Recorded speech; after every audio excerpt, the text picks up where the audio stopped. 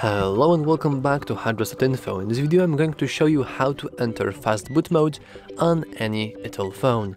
Let's begin. First we want to go into recovery mode in order to actually enable and go to fast mode itself. So we do that by simply pressing and holding power button and then we want to click power off.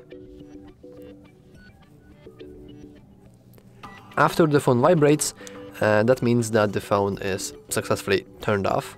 So now you want to pick it up and we want to press and hold power button and the volume up button for few seconds and after Itel logo appears we want to release the power button. So we do this and now we want to release the power button. On some phone, on some Itel phones, uh, you want to press and hold the volume down button instead of volume up, but I'm currently using volume uh, Itel S24 and the volume up shortcut works for me. Anyway, after you successfully do that, you will be probably greeted with this screen or the recovery mode itself.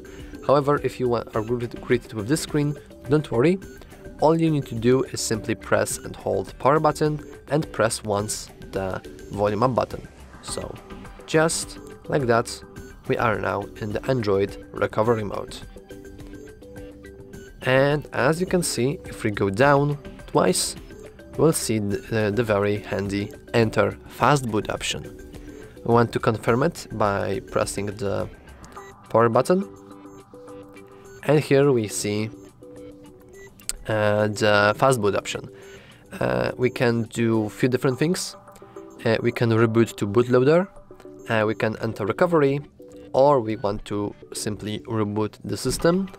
Uh, normally, the fastboot, uh, well, it's a special boot mode that is used for debugging, the firmware flashing, and well, unlocking the bootloader.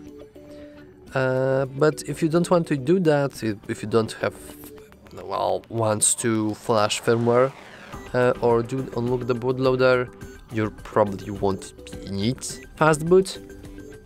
But yeah, you can just go here and reboot to bootloader if you want to, or we can enter the recovery once again, and we can just easily reboot the bootloader inside the recovery mode. But yeah, that's how you enter fastboot, um, and that's all for this video. If you found it useful, please remember to like and subscribe. Thanks for watching.